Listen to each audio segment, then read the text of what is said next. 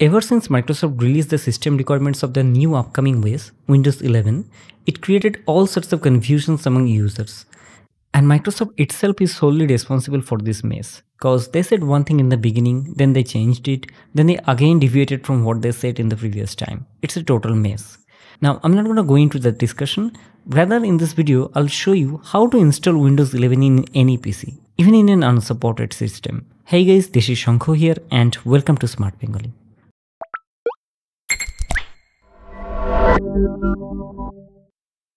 First of all, let me show you what's the latest system requirements released by Microsoft for Windows 11. So as per Microsoft's statement, this is the current system requirement for Windows 11. Now among these things, I would like to point out three major requirements. First thing is, if you open the compatible 64-bit processors list and then you open the sublists for AMD and Intel CPUs, you'll see surprisingly tons of CPUs are missing in this list. Microsoft basically ditched every Intel CPUs before 8th generation from their core processors lineup.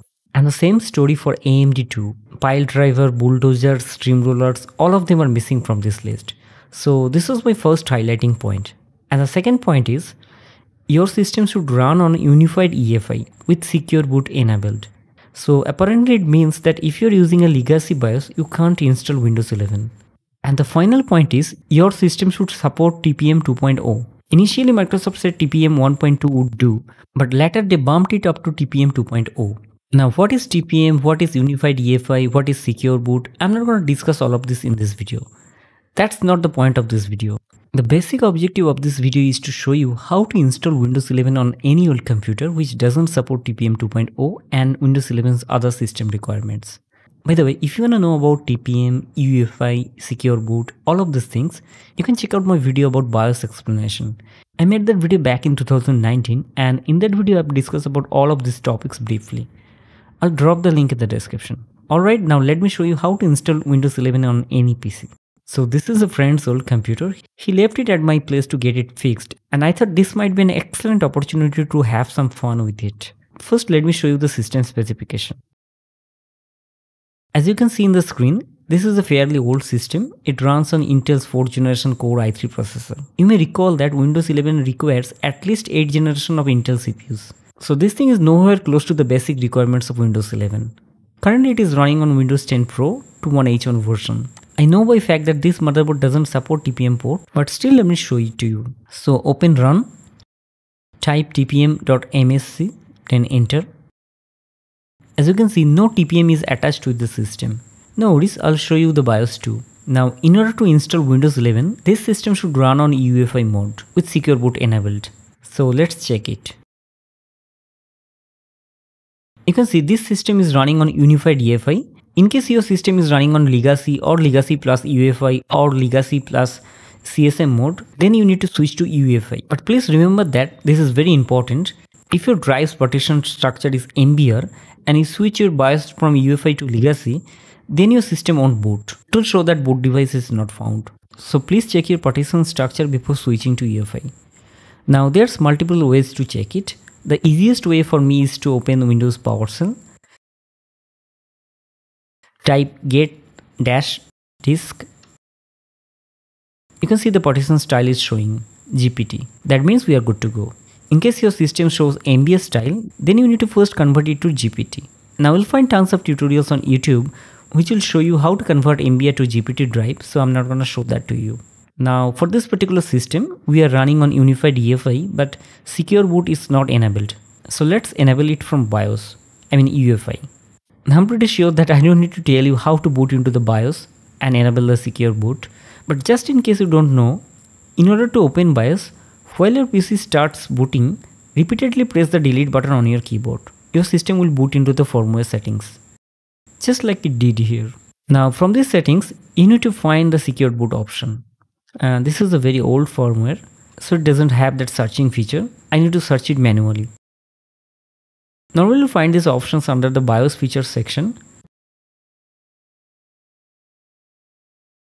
You can see that boot mode is set to UEFI only in case it is in legacy mode or UEFI and legacy combo mode, you need to switch it to UEFI just like I said earlier. Make sure you are using GPT file structure before switching, otherwise your system won't boot. Anyway, let's get back to the UEFI only. Now let me scroll down. You can see secure boot is disabled. So I need to enable it.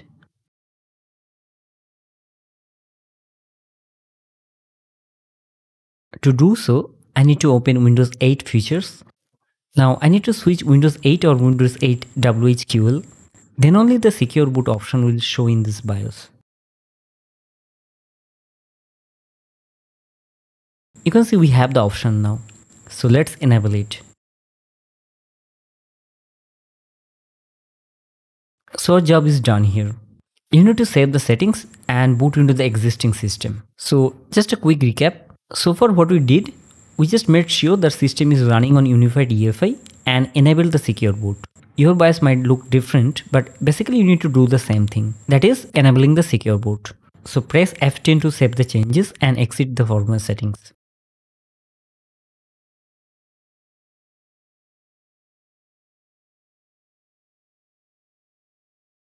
First, let's check if we can get the update from the official dev channel. I'm pretty sure it won't happen because this PC doesn't have the TPM thingy, right?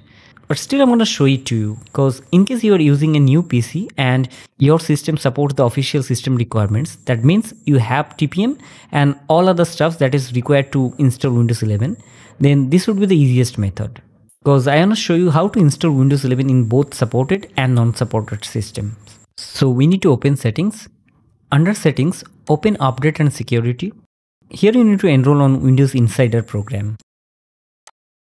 In order to enroll, we need to turn on the optional diagnostic data. So let's click on it and change it to optional. Again, let's get back to the Insider program.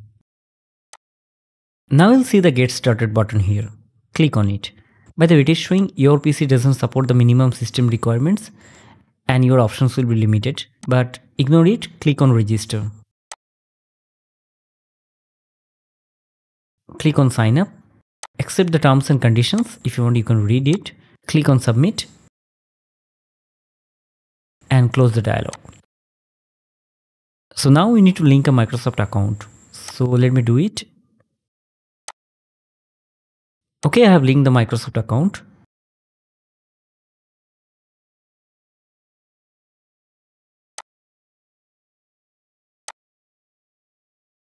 Now I need to restart the system. So I have restarted the PC. Now let's check it again. So again, let's go to the settings, then update and security, and then Windows Insider program. You can see it is only showing the release preview channel. If this system had necessary hardware for Windows 11, then it would show the dev channel. And from that dev channel, we'd get the Windows 11 update. But since this hardware doesn't support Windows 11, so it is not showing here. So this is all about the official method for those who had the necessary system requirements. Now I'm going to show you the Windows 11 installation method for those who doesn't have the TPM 2.0 and running an old system. So now I'll show you the Windows 11 installation procedure for unsupported hardware. In this method, we need the Windows 11 ISO file. Now unfortunately Microsoft doesn't provide us the file. So far they released the developer preview version only via Windows updates.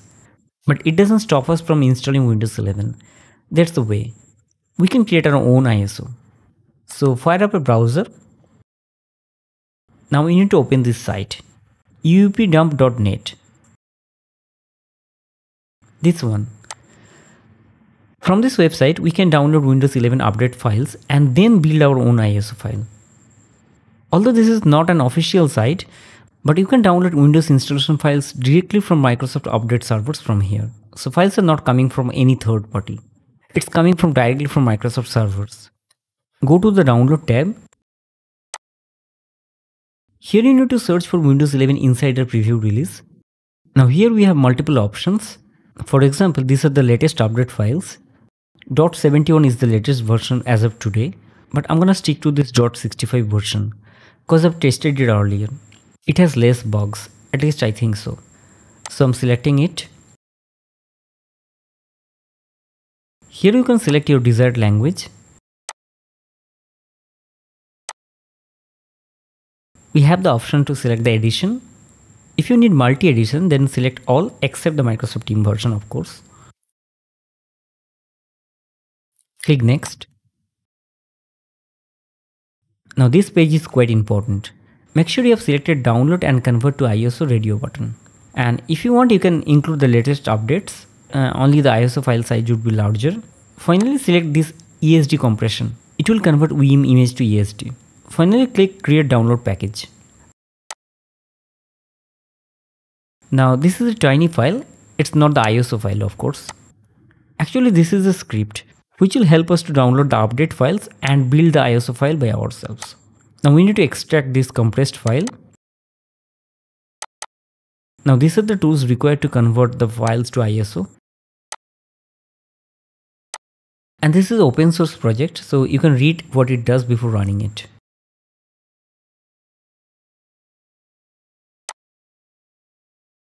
When you're ready, execute the bat file. That's it. You don't need to do anything else. Now this script will first download the update files and then build the ISO for you. And this is a very time consuming process. It can take even hours. So of course I'm gonna edit out this portion. I'll come back when the downloading and ISO building process gets completed.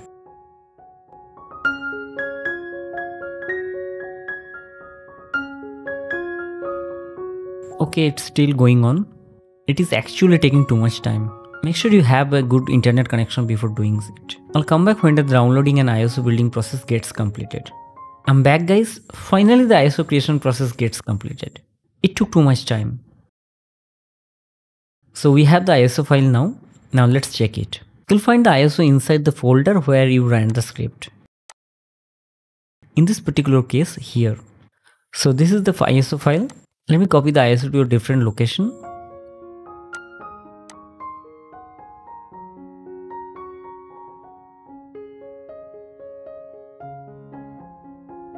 So we have the Windows 11 ISO file now. Now we can install it in two ways. The first one is to mount the ISO file and then begin the installation process directly from here.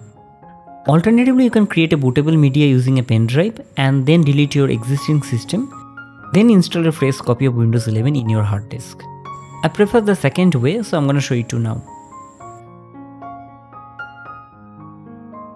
To make a bootable media, we need two things a pen drive and a software called Rufus. I mean there are tons of softwares available for this purpose but this one is my favorite. I'll put the link in the description. Now open the Rufus software, plug your pen drive to your USB port, it would detect automatically. So this 16GB drive is my pen drive. Now I'm to select the Windows 11 ISO file which we have downloaded earlier.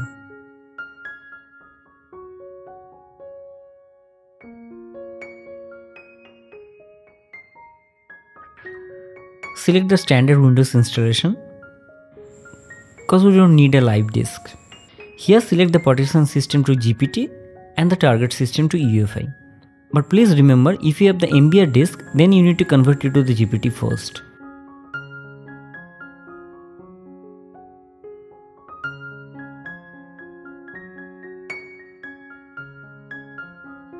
Now instead of FAT32 select NTFS file system because the ISO file size is too big.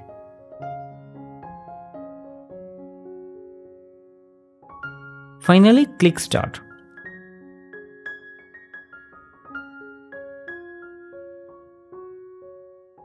And this process would take some time depending on your system. If you plugged in your pen drive in a USB 3 port and your pen drive supports USB 3, then it would take less time.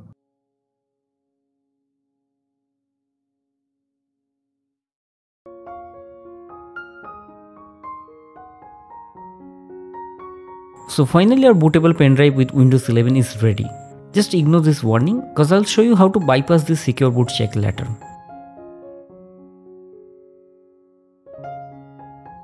Now restart the PC and boot from this bootable pen drive. Now there are multiple ways to do it. You can change the boot device priority, you can change the boot device order, etc.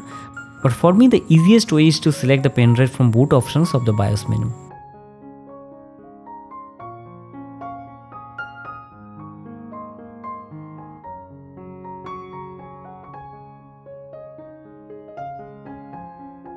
So we have successfully booted into the installation media. Now on this screen, we just need to do one last thing and then we are good to go. Well, we need to do two things. we need to disable the TPM and secure boot check with a registry hack. So our good old friend CMD will help us here. To call him, press Shift plus F10 in the screen. See CMD is here for you. Now type regedit reg edit and then press enter. So this is the registry editor. I'm extremely sorry for my poor video quality and weird camera angle. Actually I had no idea regarding the alignment and focus during shoot. Anyway, go to H key local machine. Under that folder go to system and under system go to setup. Here we need to create a key. So right click on it, create new key and name it as lab config. Make sure to write the exact same name with the camel case. Now in this folder you need to create two DWORD. So right click, select new DWORD 32 bit. Now name it as bypass TPM check. Write the exact same name and set the value flag to 1. We need to create another entry bypass secure boot check.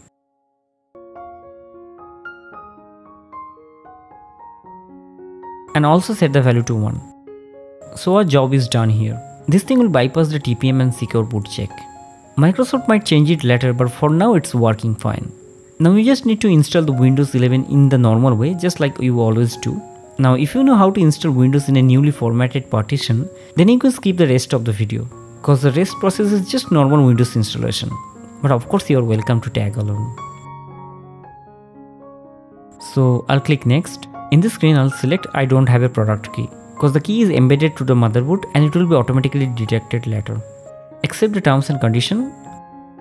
Once a wise man said that you must read all the terms and conditions before agreeing with it, but I'm not so wise, so I'll accept it. Now in this screen, I'll choose custom because I'll format a partition. Now this partition number 4 is my C drive where the existing Windows 10 is residing. So I'll delete it and install Windows 11 in this section of the hard disk.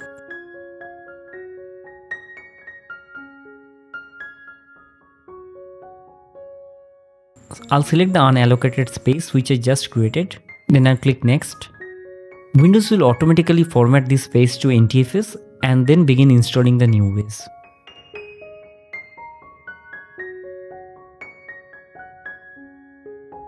So the installation is going on.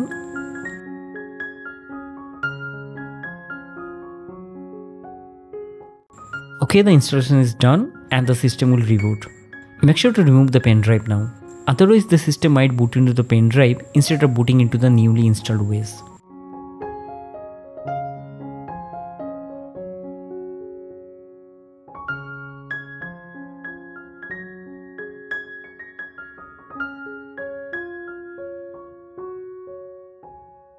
Finally the Windows 11 logo.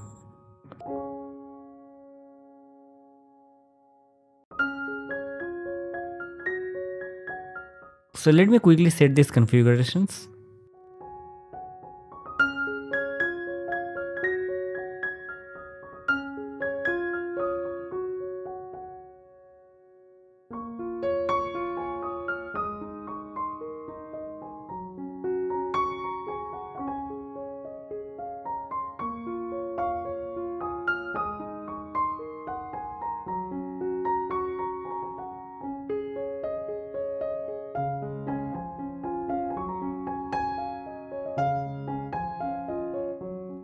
Okay we are in the desktop now.